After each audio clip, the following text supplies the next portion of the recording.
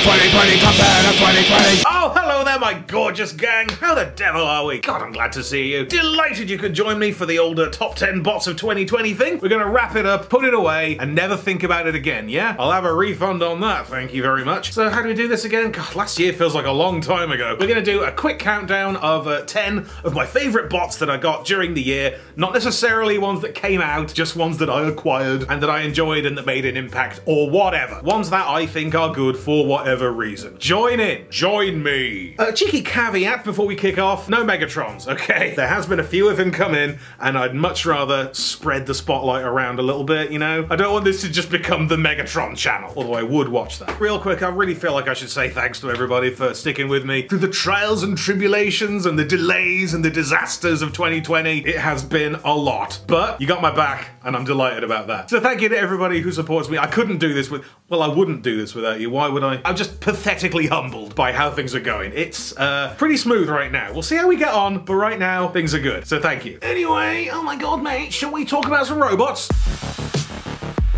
Kicking us off then in spectacular style is Studio Series Bumblebee Blitzwing. Oh, so yeah, a bit of a mega year on the old Studio Series. I've been relishing the Bumblebee figures. This one was great, Off-Road Bumblebee, some others that we'll talk about in a minute. But oh god, I don't know man, the, the aesthetic still just gets me right here. It's everything. Such a perfect blend of like photorealism and retro stylings and what would it really look like if, you know, and Blitzwing is just the baddest mother lover of the lot, man. He's such a savage. And that's about the depth of it, really. I just think he's really good. I'd love to do a full review on him. I, I, I always want to do a full review on everything, but just in case we don't get around to him, he's really good and I love him. Transformers Armada Red Alert. God, what a chunky monster of a man this thing is. So this guy pretty much represents TF Nation for this year. I got him at, um, well, I didn't get him at. Nobody got anything at. There wasn't an at this year. But I ordered him from Toy Fu during their big push at TF Nation. I was so sick. It was awful. I got food poisoning right before TF Nation. I was laid out the whole time. But I was just so delighted to still be able to be part of it. I did the old Sentinel Prime review and uh, the TF Nation gang they got literal Townsend Coleman to come in and roast me. they animated the whole thing. It's so good. What a trip to be part of that. To get friggin' torn to bits by actual Sentinel Prime. What an experience. What a mixture of experiences. Watching a live stream of one of the coolest things that ever happened to me while sick to my guts. You gotta even it out somehow, right? But friggin' Armada Red Alert is a pure, chunky delight of a boy. Just so shamelessly an exploded car glued onto a friggin' Masters of the Universe action figure. Just friggin' gimmicks and chunk and friggin' light piping for days. Oh, he's great. He's everything. Where did that go? I wasn't expecting that. Armada is still one of those things I'm just barely scratching the surface. And Red Alert is truly just a feast. So big up once again to Toy. Love what you do. God, I hope we get to do TF Nation this year. Please. I miss you. I miss you. Ugh, mosh pits and uppercuts and bazookas. Urgh, that's my energy. Masterpiece Soundwave! We got one, lads. We got hold of one. He's so difficult to source. He's never available. eBay's just full of knockoff ones. But I put some feelers out and somebody on Instagram got back to me with Masterpiece Soundwave, all the cassettes, Rat Bat, friggin' Buzzsaw, Laserbeak Ravage, all the gang. He's so good, man. Fair to say this is very much a product of its time. The engineering is very odd. Like his hips are under his hips, but it works and it pulls it off with grace and subtlety and it's just a wonderful representation of, let's be real, one of the coolest robot designs ever in anything. And you know, real talk, I don't like to be the guy sitting there going, oh, this is difficult, because I'm so lucky to be able to do what I do. This is great! Are you kidding me? But it really sucks when buying toys becomes a professional obligation, you know? The burnout, man. Good God, the burnout. This is like my main hobby and it's work now. I'm not mad. It's just a weird one. And while this guy was something I bought for a video, it's so beautiful and it's just what I needed to remind me that I do like this. you know? Masterpiece Soundwave blasted away the burnout. Sometimes it's nice to be reminded why you like the thing you like. Studio Series Jet version Shatter. Bringing all these Bumblebee figures, they're just hitting, man. Not all of them though. That friggin' car mode Shatter was rubbish. So this last came as a real treat, because God, we love Shatter, don't we? Blitzwing, love that guy, but mm, one and done. But Shatter was such a presence, and this is the perfect version of her. And I know I've already talked about this, but one of my favorite moments with um, Shatter and Dropkick is when they acquire their uh, flight modes, they change. Because we were so used to the robot modes just being like whatever, just big tangly mess. So that moment when they got their flight modes and then transformed and sprouted more kibble, God, it's what I need, man. Just the attention to detail and the groundedness and the care. And this is that as a toy. Yes, it's kibbly. Yes, I want that. Jet mode shatter got me where it mattered. That was a nerdy entry, wasn't it? Earthrise Scorponok. My gigantic crab son. A bit dutty, mate. Clean yourself up, you're on telly. I don't know, if you've been watching the channel, you've probably noticed this lad has not left my desk, partly due to not having any room for him elsewhere. but he's been great company. I love his vibe. I don't know, it's like the first Titan class figure I've really enjoyed, because I didn't do Trypticon, but we do Fort Max, we do Metroplex, they're great and everything, but the alt modes are, oh, so boring. I'm sure I said this before, but I don't care for a city mode. But Scorponok is a, a giant robot insect monster the size of a child. He's a Decepticon, his colours are great. We love a secondary colour. This lad, pop it. Great work, yes. Spectacular job made. Yes, wonderful. God, his hands are the size of hands. All right, that's half of them. Shall we take a quick musical breather and reconvene for the top five? Well, that's what we're doing.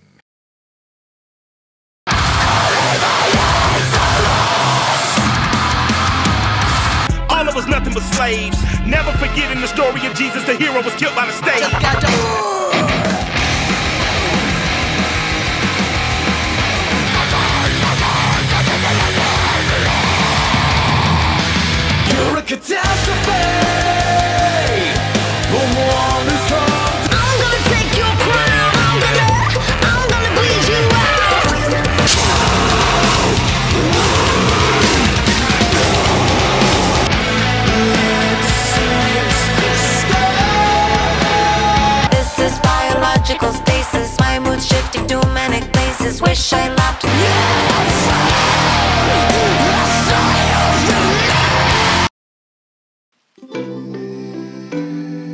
No, 5 Studio Series Scrapper. Once again with the movie bots, I know, but they're just good.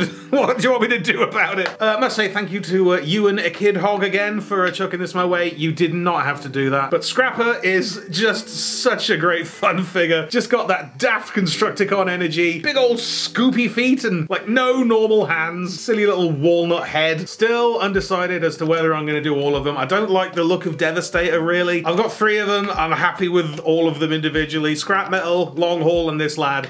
They will do. Alt mode's great, just a really fun construction themed baddie robot. You don't have to have eight of those to have a good time, okay? He is Scrapper, and everybody else is Crapper.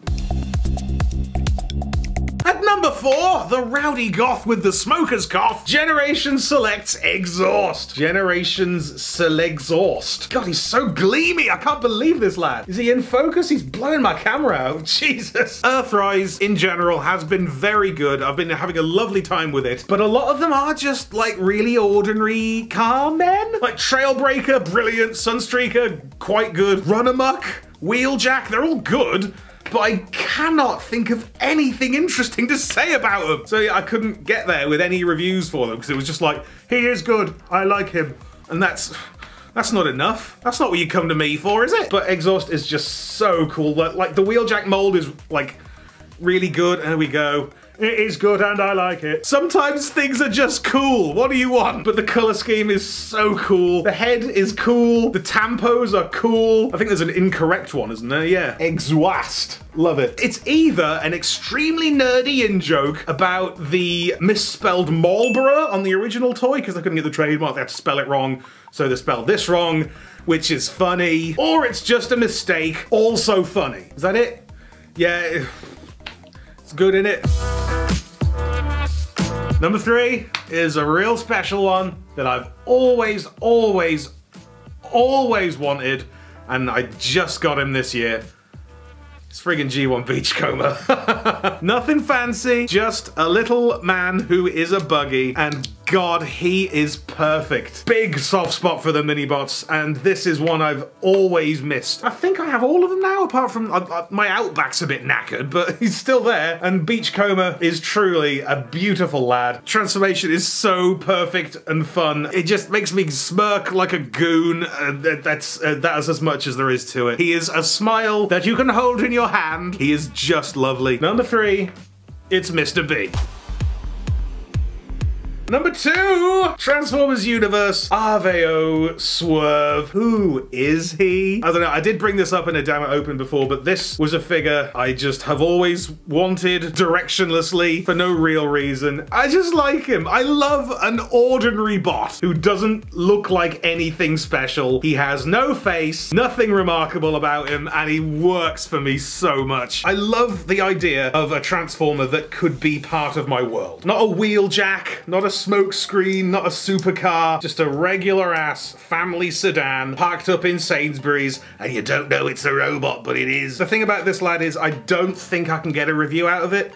There's really not much to work with. I suppose the only thing I could really talk about would be the circumstances of its release, because it was like a giveaway for when you test drive a car. Probably just end up reading the TF Wiki article out loud, honestly. So there's the alt mode. It is a car, a boring little ordinary car, and I, I live for it. That's that's I don't know. I don't know why I like that. He's not interesting. I just like it. So I gotta say cheers to a good old P Org once again for hooking us up on this one. Thank you, mate. God, I appreciate this piece of shit. But before we do number one, I must give some degree of respect to a certain very large lad. This is the absolute glory that is Fans Hobby Lightning Eagle. Friggin' masterpiece, Power Master, whatever, Thunderclash version. Oh, so good. And, um, I broke it. I was working on a review for it, which I can't do now. I don't know if it was my fault. I feel like it probably was. I overstretched his legs a tiny bit. They went a notch too far, and now they won't go back in. So he just can't do truck mode anymore. I'm I'm gutted. But God, he's so beautiful. These friggin' colors, man. He is wonderful. I've been without Thunderclash in my life since I made the video a year and a bit ago. He was good, but he was crumbling. He had to go. I couldn't I couldn't watch him slowly fade to dust. So I moved him on, gave him to somebody else to enjoy while he lasts. So it was nice to have Thunderclash back in my life again for a bit until he broke my heart again. So thanks a bunch. Me. you it. Completely chunked it. I'm, I'm furious. Fans Hobby Lightning Eagle. He's wonderful. Be careful. And the last one, number one for this year, big things I've always wanted theme on the go right now. Sorry, that's where I'm at, okay? The new stuff is great, we love it, but the churn, man, the new stuff pre-order churn, it's bugging the shit out of me. So I just had to take a little break and buy myself a G1 Sunstreaker. Oh man, again, I think I showed him off in a previous one, but this was a major hit with me this year because mm, he's so important. He's such a huge slab of friggin' Transformers Diaclone history, and he pops. Good God, he pops, man. He's so good. Just where I'm at right now, I'm feeling the value of the vintage figures. There's something about him. There's something about this era. Just the metal, the stodgy design. It's so good. what else is there? Because I sort of wrote off the G1 Autobot cars as being a bit obvious. You know, who wants to hear me talk about Jazz and Wheeljack and all these ones that everybody knows about? Everyone's already got one, right? So I never really went in in a big way. I had like Smokescreen and Prowl and Ironhide. Sideswipe, I broke him as a kid. I ju- they, they became sort of throwaway in my mind. So to experience a figure as classical as this for the first time, God, it's a treat. God, it's a treat. There's a few left that I haven't got. I'm gonna pace them out because the thrill, man, the the severe satisfaction. One bot like this a year, and I think we'll be all right. You know, the things I'm saying about this thing do not align with what it looks like. It looks like a bag of crap, but this is like straight off the back of the 70s. This was revolutionary. This was huge. You hate to say it, you hate to be the guy, but G1, there's nothing like it. And uh, that makes 10, I reckon. So thank you for joining me. Maybe we can actually kick off the new year now, yeah? Got a couple cooking up. Not totally sure which one to prioritize. Suppose I better talk about Netflix Earthrise, hadn't I? God. But I'm gonna do it. and it's I would think it might be good. That's how I generally approach videos. But until such time as our paths meet again, I do appreciate you. Thank you so much for joining me for this. I implore you to remain ravishing. Okay, thank you for watching, and thank you to Lupatron for supporting me on the Patreon. Join today, get your name on here. Maybe I'll give you a shout out. $5 patrons get early access to reviews, mother lovers. Not to mention exclusive image galleries, not nudes. See you there, maybe? That's probably not right. So thank you, Lupatron. Much appreciated. Be sure to subscribe for more Thews Awesome Transformers reviews. Limited appeal, keeping it real.